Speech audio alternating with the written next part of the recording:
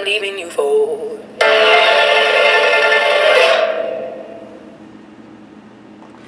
Hey, what's up you guys? Hi, I'm 2245. Welcome back to GSA, and as you see, I'm in a somewhat different location. There's no more shirts behind me. Um, actually, me and Minecraft Nerd 2233, me and him, we flip-flop rooms, so now I have this gigantic room.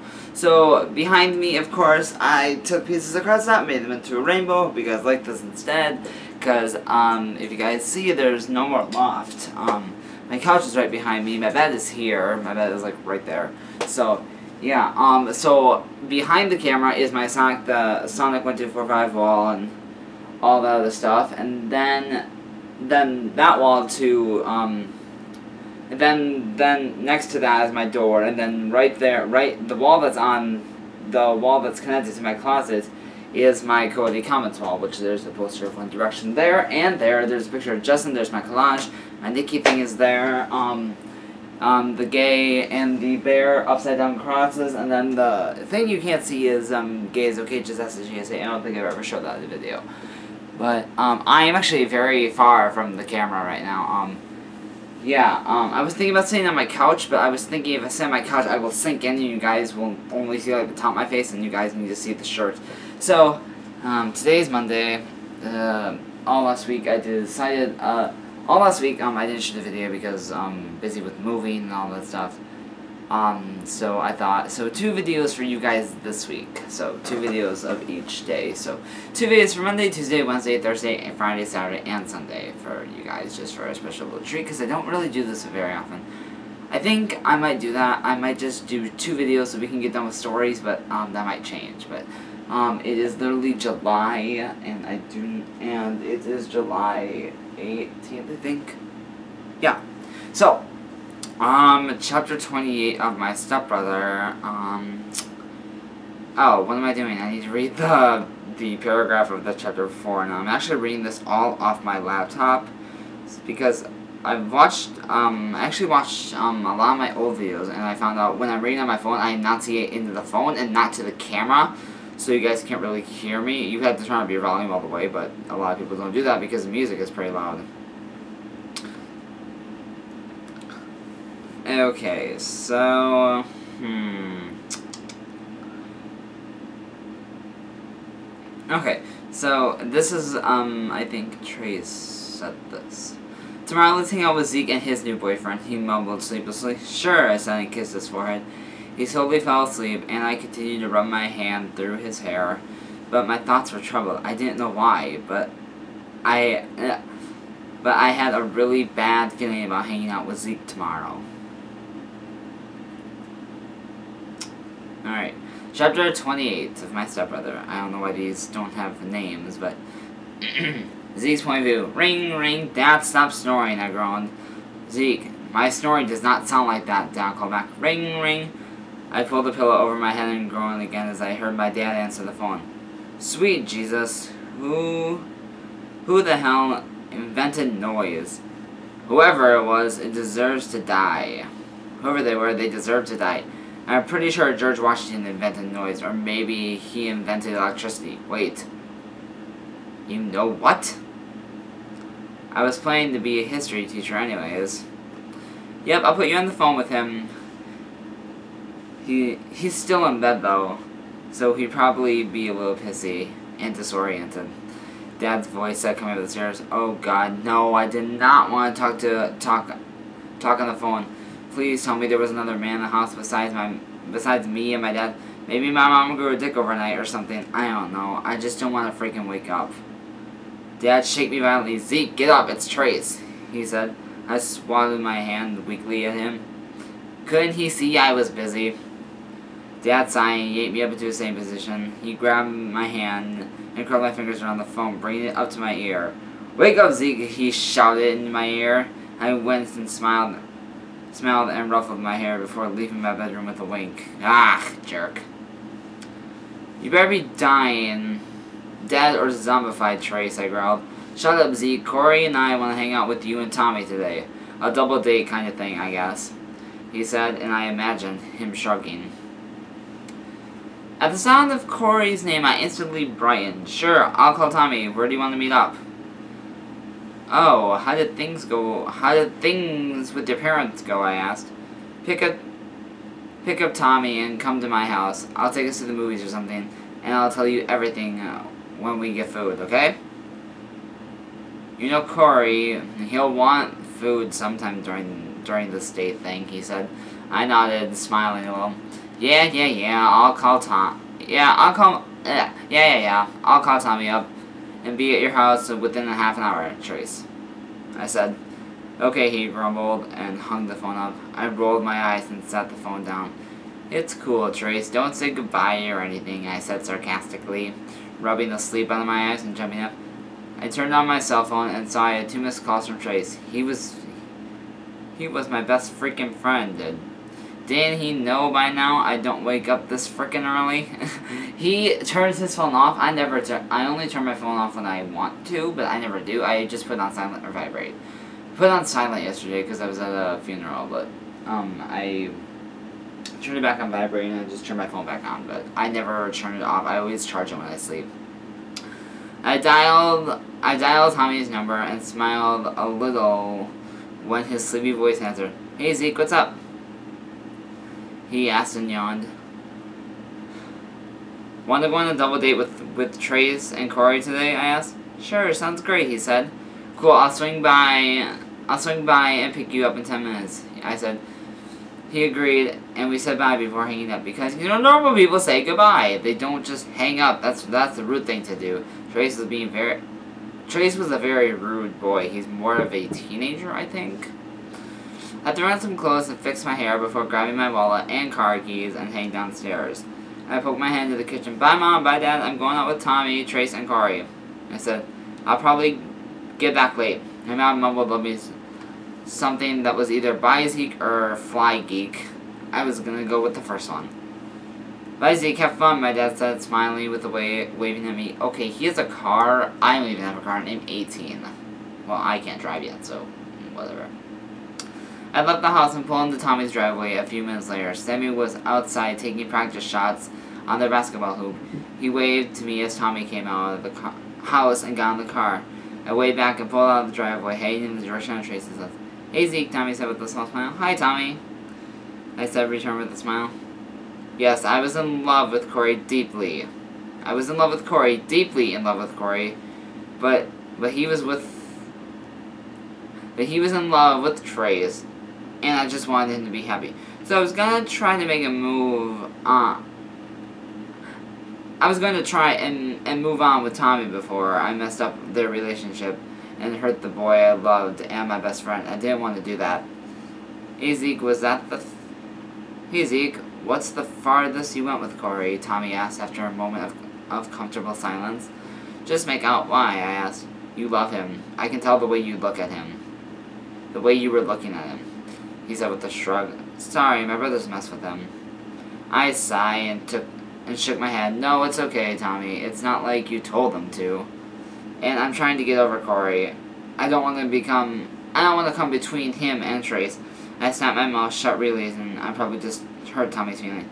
Tommy shrugged again.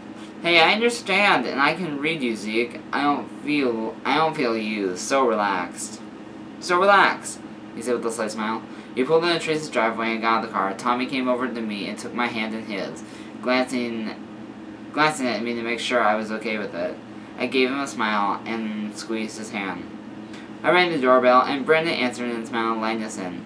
They're just arguing over some stupid stuff. I don't know. Go break them up before they kill each other, he said with a sigh, shaking head. Tommy and I went upstairs, and I let myself into Zeke's room, raising an eyebrow at the situation. Trace had Corey pinned to the floor, Corey trying to hold something away from him. It's mine. Mine. M-I-N-E. Corey cried furiously, sticking a tongue on Trace. Corey, you will give me my damn cell phone already. Trace demanded in annoyance. But I can read him easily. He wasn't annoying at all with Corey. He was he was in he was entertained and amusing with him. There was also that look in his eyes that he that said he loved Corey deeply. I for I forced away my jealousy. Trace was a bastard, but I don't think he would hurt Corey. If he was going to hurt Corey, he would have he would have come out to everyone. He wouldn't have kept their relationship a secret. I will if you kiss me, Corey taunted with a smirk. Trace sighed and leaned down, pressing his lips to Corey. Corey deepened the kiss eagerly and allowed Trace to... I have the weirdest boner right now, Tor Tommy and Howens. Trace and Corey jumped away from each other and blushed. Uh, I didn't see you guys there. Damn it, Zeke. Fucking knock, Trace said. I love that. I love Tommy's thing. I have the weirdest boner right now, Tommy and Owens. Oh my god, that's too funny. Well, hello to you too! I said with an amused smile. Corey jumped and rushed over to me. I caught him as he jumped into my arms and glanced at Trace, sticking his tongue out again. He's being mean to me, Corey whined. Not my problem, I said, and laughed as he pouted deeply. But Zeke, he's being mean, he whined loudly. Heyo, Dory, or whatever. Zeke's my boy. Tommy said calmly. My name is Corey. Dory was the retarded fish finding Nemo. Corey helped as he jumped onto my arms and went over to Trace. So, I was close, Dory. Corey. So I was close. Dory, Corey, retarded fish, retarded human. Eh. Tommy said with a shrug. Trace and I snickered and Corey grumbled something about chainsaw and hot sauce. Well, alright then. Let's just head out now. I don't feel like a movie, and I don't think Corey could sit through one, so I'm just gonna surprise all of you. Trace said, and we all left to head out to the head out the car. Corey's point of view. My eyes were so freaking cool. Your eyes are so freaking cool, I cried, staring in Tommy's eyes, and Trace drove us wherever he was taking us. Thanks, Tommy said. Are you high? I asked curiously. Tommy shook his head, and Zeke watched. And Zeke watched, looking amused. He took Tommy's hand in his own. Hey, Tommy, are you you have freaking cool eyes. I have I ever told you that? Yeah, Corey, you just did. Oh well, they're freaking cool, just in case you didn't know. I think I got the point the first time, but thanks again, I guess. I continued to stare into his eyes, but they didn't seem creeped out like most people would. Tommy seemed like a really calm and relaxed kind of person. But his freaking eyes, they were a mix of gold and purple. They were cool in an almost creepy way. But I didn't freaking care. They were so, so Gerbil, or Pound. Hmm. Are your eyes Gerbil or Pound? I asked, trying to figure out what color they were. And you asked me if I was high. He said, shaking his head. Corey, stop annoying Tommy before I kick you out of the car, Trace growled. And I upon turned around in my seat, crossing my arms and glaring at Trace. You're just jealous that you don't have cool eyes. I mean, yours are nice, and I liked looking into them before I shot a load in your mouth. Oh gosh. Oh gosh! And that was actually in the story. I just said that out loud, didn't I? I didn't mean to. I meant, uh, your eyes are beautiful, Trace. Tra Zeke exploded into laughter as Trace sighed and shook his head. I turned my face to, I turned to face Tommy and Zeke. Zeke had tears squirting out of his eyes, and and even Tommy relaxed expression and had shifted into a slight amused one. Oh my God, Trace, you sucked Corey. Zeke asked and and burst into a flesh round of laughter. Oh, that's freaking priceless. I bet Corey took it out of the, took it out of the ass, huh? At my bush, he clutched his stomach and buried his head into Tommy's chest, rocking, rocking with his furious laughter. Tommy slung her arm around him and glanced at me with a knowing look. I turned around, blushing mumbly, and mumbled shut-ups to them. Trace took my hand and leaned over, kissing me deeply. Hey, whatever, he said, uh, with one of with one of his. Trace smiles. Zeke's just jealous that he's a virgin. I said, smirking at him, and he flipped me off with a pout. Shut up, maybe I like being a virgin, he whined. Yeah, maybe I fucked Will Smith last night, I said with a raised eyebrow at him, smirking even wider. Ayo, Zeke, if you don't want, if if you don't want your virginity anymore, I'll take it, Tommy offered. Zeke blushed and I grinned and I turned back in my seat. Trace, where are we going? I asked, feeling the need to get out of the car and run around. Man, I wasn't made to sit. It was so weird because both of my parents had been really calm people. My dad was lazy ass, usually when he was heinous, and heinous and my mom was generally lazy ass unless she was doing morning run or gardening outside. Where's my personality traits I had come from? Well, hell if I knew. We're going to the land of shut the fuck up, Corey, Trace said. Oh, that wasn't very nice, as I said with a frown.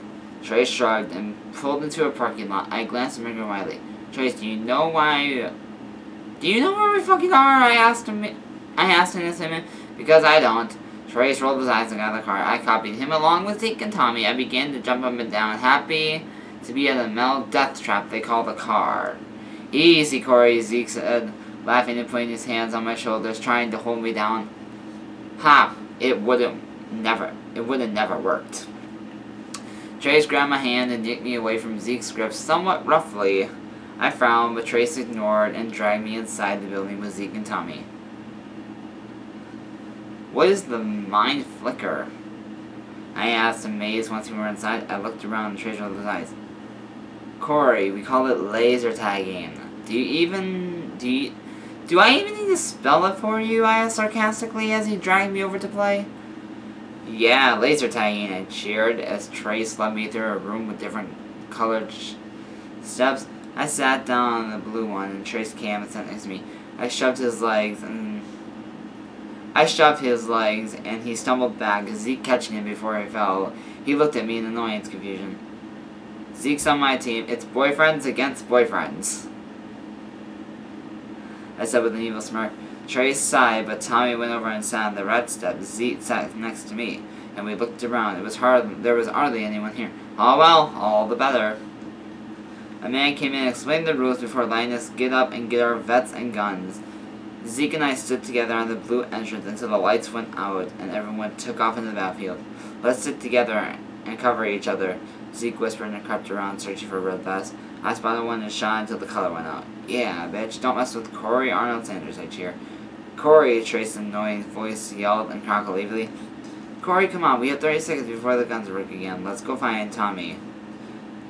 Zeke said, and dragged me around the corner in the sight of Trace before his vest lit up again. We crept around shooting red vests. When we saw them, my vest suddenly went out and I had whipped around just to see a red vest ducking. But the light had but the light had made Tommy freaking cool eyes stand up before he had ducked out of ducked out of sight. Zeke took off shooting at him. Hey, what happened to stick together? I called Pine, disappearing to chase Tommy. My vest lit back up and I was instantly shot again and let out an annoying whine as I heard Trace sticker from somewhere behind me. I took off right towards the sound of the sticker. I spotted him and shot him as soon as my vest lit up again. His vest went out and he came over to me, cupping my face in his hands, kissing me deeply. I'm gonna shoot you when your vest comes back on. I have about 20 seconds left to kiss you, he mumbled. Against my lips before bringing them back to contact. You can do a lot in 20 seconds, I gasped when I pulled away from me. He smirked and shot me just as my vest lit back up. I pouted, you cheat. You're a cheater. I'm out. I cried and turned to run. I had Trace chasing me, and I ran faster, knowing, knowing that unless he had a, sh a shaped soccer player, that I was out of shape, Corey. A light suddenly turned on and all the vests went out. Someone voice cracked in the speaker announcing we need to exit the game was over. Trace took my hand and we left together, taking our vests off and leaving them with our guns. We met back up and Zeke and Tommy. With Zeke and Tommy, Zeke blushed. Sorry, I got distracted, he mumbled. Tori, Tommy's lipstick is on you, I said. Zeke his white and rubbed his neck furiously before getting confused. Getting confused. Look. Tommy's not wearing lipstick. Oh, you're an asshole. I laughed and hid behind Trace before Zeke could kill me. Ha, huh, so Trace and I weren't the only ones sucking neck. Well, actually, Trace sucked my neck. I had never sucked his. But still, woo, go Tommy. You're, you, you and your freaking cool eyes. How far am I? 21 minutes? Oh my god, wow. We left the legendary place and got back in the car. Trace drove us to a restaurant and first found out I was gay at. A waiter seated us and took our food orders before leaving us alone with yummy bread. With the yummy bread, Zeke and I sat next to each other and our boyfriend sitting across from us. Trace took my hand over the table over the table and his thumb traced circles over my skin. He leaned over and pressed his lips to mine, gently. I smiled, turned to Zeke and Tommy. You two need to kiss, I command. Zeke blushed. Well, um, we're not official dating yet, he babbed nervously. Screw that. Be my boyfriend, Zeke, Tommy said with a shark grabbing Zeke's hand over the table. Well, if you insist. Zeke said with a wink. Tommy leaned over the table and pressed his lips. I clap out and let it whistle. Yeah, get some lip action, Zeke, I cheered. Zeke smacked my arm playfully once I had pulled away from Tommy. I looked over and saw Trace looked relaxed. Huh. What was up with that? We ain't got back in Trace's car, but then it had gone dark out. Well, that was fun, I said with the loud, tired yawn. Yeah, it was, Trace confirmed, and Zeke and Tommy nodded in agreement. And we got back home. Tommy said goodbye before getting in Zeke's car and leaving. Corey, I love you, Trace said, wrapping his arms around me and kissing me deeply. Trace, I love you too.